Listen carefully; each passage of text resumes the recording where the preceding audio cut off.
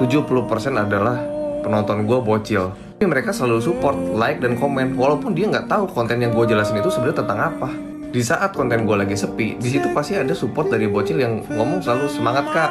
Apalagi kalau gue lagi live nih, kadang ngingetin makan, ngingetin minum. Mereka mereka perhatian juga sebenarnya. Walaupun mereka itu nggak kenal kita siapa dan cuma bisa ngeliat kita di TikTok doang.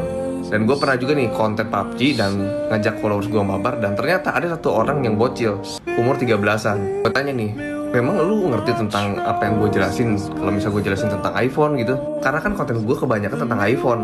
Dan si bocil itu cuma jawab ya karena dia cuma seneng aja ngeliat gue di TikTok gitu. Walaupun